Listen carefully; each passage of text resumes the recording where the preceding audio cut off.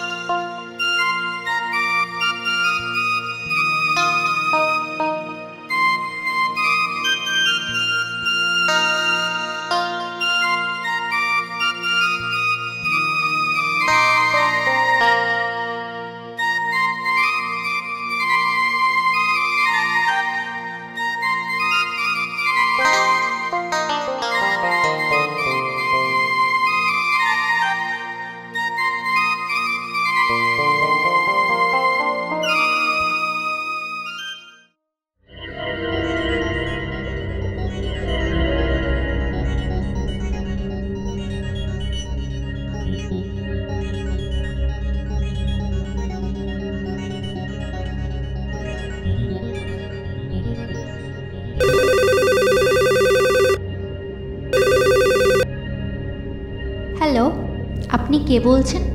কাল আপনার সঙ্গে কথা হলো। আজকে আমার গেস্ট হাউসে আসার কথা। ঠিকানারও তো আপনাকে হোয়াটসঅ্যাপ করে দিয়েছিলাম। আর কতক্ষণ ওয়েট করব? হ্যাঁ ব্যাস কিছুক্ষণের মধ্যেই যাচ্ছি। I am on the road now okay I am waiting for you bye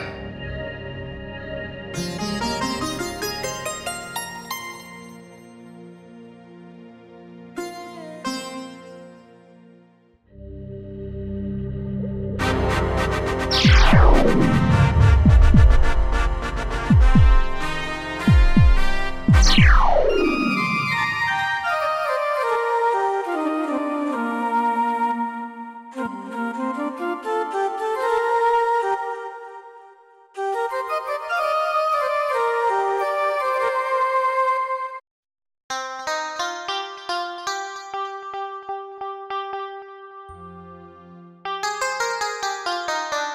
আরে তুমি হঠাৎ আমার বাড়িতে? যাক ভালোই হয়েছে। আমি তোমাকেই ফোন করতে যাচ্ছিলাম। আজ ভালো লাগছিল না গো। রাতটা এখন ভালোই কাটবে। না আমি আজকে থাকার জন্য আসিনি। তোমাকে কিছু কথা বলার জন্য এসেছি। কি কথা? একটা সুখবর আছে। কিসের সুখবর? তাড়াতাড়ি বলো আমার আজ তর্স হয়েছে তুমি বাবা হতে চলেছ। এই চলো আমরা বিয়েটা করে ফেলি। পাগল নাকি? এখনই বিয়ে? ইম্পসিবল আমার দ্বারা এই বিয়ে হবে না। আমি এখন এনজয় করব জীবনটাকে উপভোগ করব। যাও ডাক্তার কাছে গিয়ে অ্যাবর্শনটা করিয়ে নিয়ে এসো।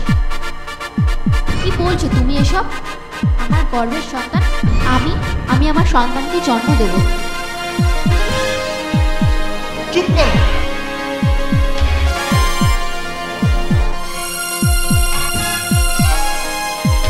যাও যাও তুমি অ্যাবর্শনটা করিয়ে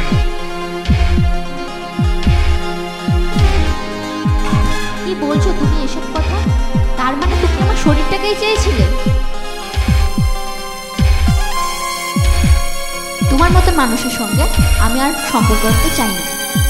এই মুহূর্ত থেকে তোমার সাথে আমার সব সম্পর্ক শেষ।